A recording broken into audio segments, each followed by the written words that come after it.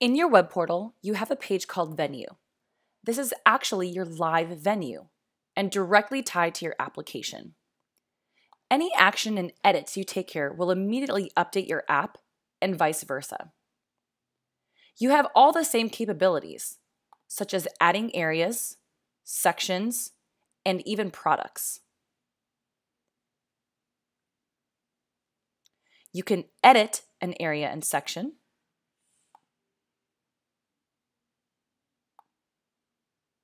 You can add products in between other products.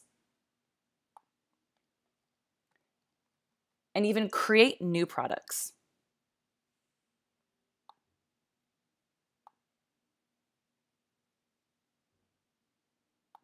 You can even generate a new inventory report.